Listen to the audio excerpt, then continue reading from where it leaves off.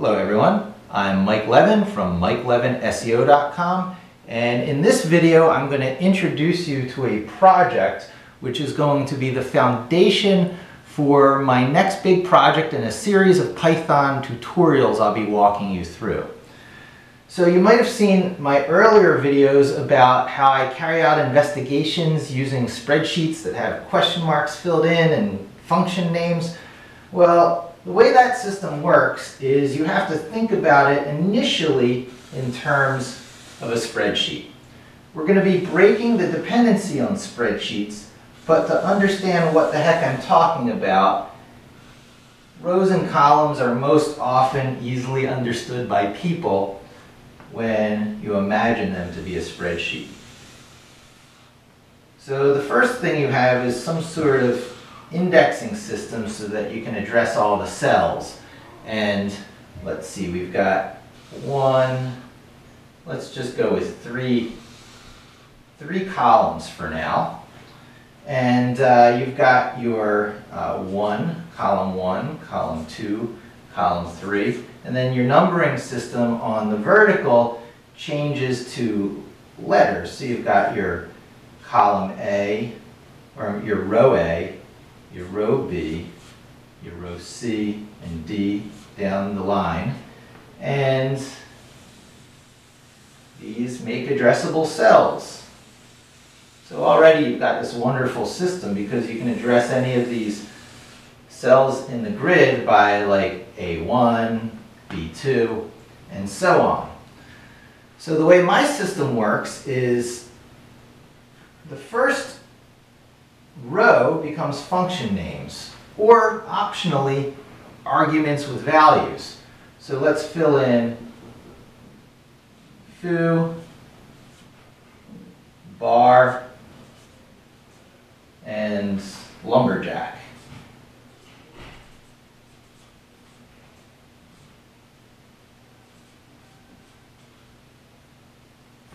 And then to think of these as either arguments or function names, I'll do the next uh, set of values in blue. So let's say foo is hello, and bar is world.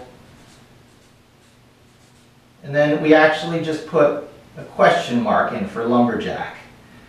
And we'll do one more column, we'll call, or row, we'll call this spam. And this we'll call eggs. And we'll put the question mark in for this as well. So do you see where this is going? If somewhere in the system we have a function lurking back on a server somewhere that's defined as lumberjack,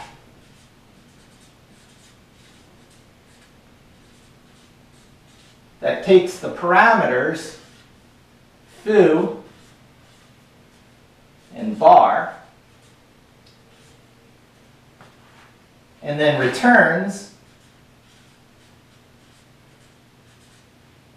foo plus space plus bar. When you hit that magic button, that sits at the top of the spreadsheet. It starts the processing and it goes across, gets all the function and parameter names, and then it starts this next row and it says, oh, you want to feed the values hello and world into function lumberjack. Or in fact, it says you want the output of function lumberjack do I have the required arguments available? Oh, yes, I do. They were in prior columns. And then the question mark gets replaced with hello world. Such a beautiful, elegant framework for doing rapid investigations because now you don't have to worry about the outer loop of the Python, whether you're stepping through for each item in set or feeding text files to give a large set of uh, input parameters or while loops or any of this other, you know, um, container, loop container nonsense, the spreadsheet itself becomes the loop container. And it alleviates so much user interface development work, it's not even funny. Which is why the last version of this system was tightly coupled to Google Spreadsheets. It was hard to envision another way. That was a half decade ago. I've envisioned another way. Obviously, this is going to become spam, eggs. So what is that other way? It is now time to take a moment to talk about JSON, JavaScript Object Notation Objects, which are extremely similar to Python dictionary objects. So another way to look at a row, take this row, and we can state this row in another way, contain all this same information by making a curly bracket and saying there's a name value pairing here. Name value pair, name value pair. So the name is foo, colon, and the value is hello, comma. The name is bar, and the value is world. And then finally, the name is lumberjack.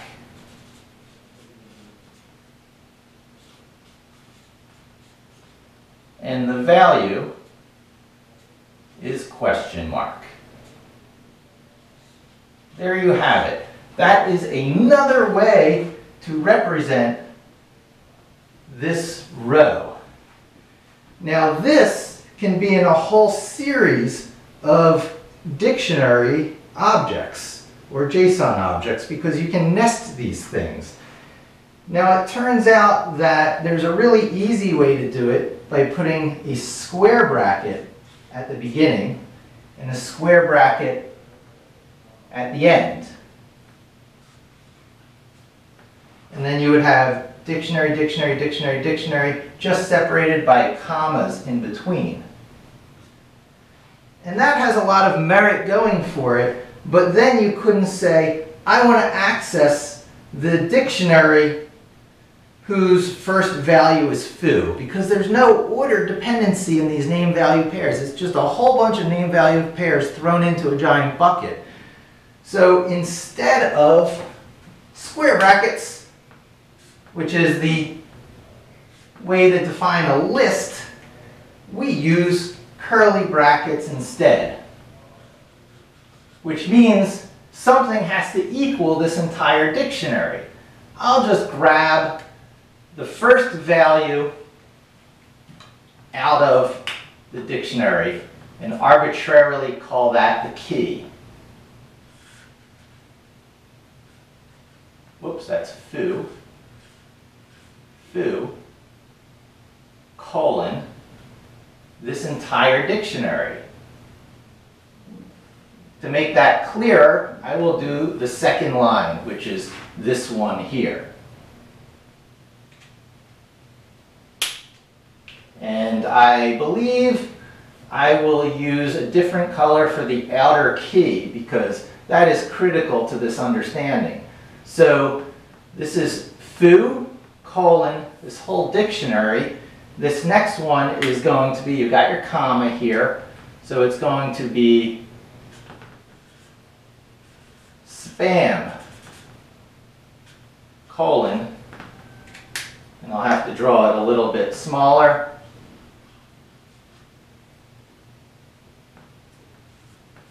Spam, that's foo colon spam.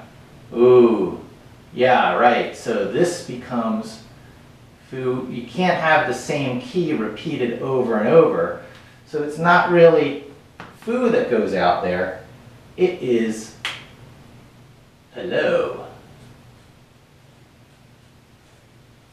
Our key value pair becomes hello, colon, this whole dictionary.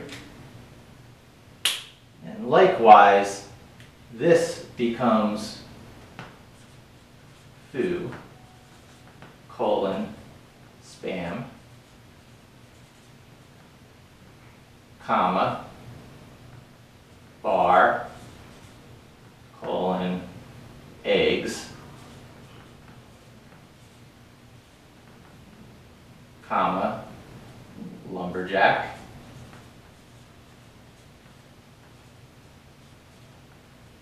colon question mark and that could go on indefinitely hello becomes this key spam becomes this key if it went on with you know uh, the knights who say ni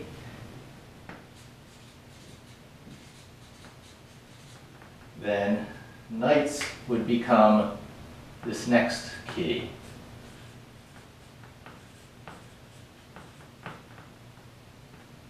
And then there'd be another dictionary. And so on down the line until the dictionary of dictionaries gets closed with another curly bracket. And then what happens with all this data? all this data that is represented by everything from this curly bracket all down to this closing bracket all gets put in a text file sitting on your hard drive for persistence so that you can access it over and over. And as the question marks get replaced, this very text file gets updated over and over until your investigation is complete and all your values are sitting easily accessible with further JavaScript or Python code that can just reach in there and get your answers. And so that is the basics of the system I'm going to be walking you through where the user interface could still reside in a spreadsheet, but it can work completely independently of a, a user interface or a spreadsheet and work in sort of a headless way so that you can schedule jobs to go on invisibly in the background according to a schedule. And well, things are going to fill up on the hard drive. The wonderful part here is that there can be a decoupling of the uh, spreadsheet from a text file. This does not have to be a text file. This can be Redis this could be uh, MongoDB. Could even be MySQL, Amazon S3. Basically any of those big data backend things that can accommodate name-value pairs. And yes, MySQL can accommodate name-value pairs like a NoSQL database, as can Postgres and almost any other RDBMS system that's just you know, set up with a two column table. Uh, one for the name, one for the value. And so this will be able to run completely on a Raspberry Pi without big database backending, depositing little files on your drive. It could run on the cloud. It could run connected to uh, Google spreadsheet so that even the files are taken out of the picture and you can collaborate instantly and it runs without leaving a trail of any sort on your servers to like create a cruft that you'd have to clean up. It's just a, it could be a just completely non-intrusive webhead type of application. If on this side it's this for user interface and this side this for the data storage. But you can mix it up and do it all these different ways. And what kinds of investigations can you do? Any kind. Uh, typically, I do um, search engine position tracking in here. Uh, I also do uh, figuring out what uh, keywords pages are targeting. I crawl a site into uh, a spreadsheet and then I tell how what the page rank of the URLs discovered, discovered are, how many times each page has been liked in Facebook.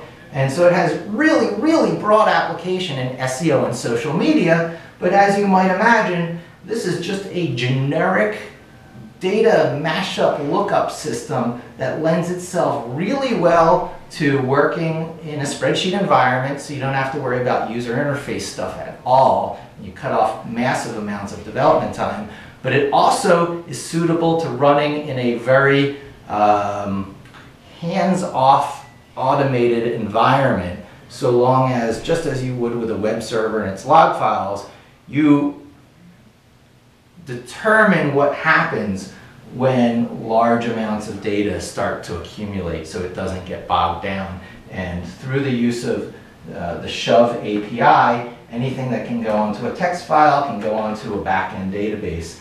And through the use of dictionary of dictionaries, the spreadsheet can be taken out of the picture entirely and just become optional. And uh, I've fallen in love with the spreadsheet way of doing things so much that I will also provide that method of using the system. So follow along with me. Uh, thanks for listening to me uh, lay out the architecture here. Uh, share this with anyone you think should follow along it with a really awesome series of Python tutorials. And don't forget to subscribe.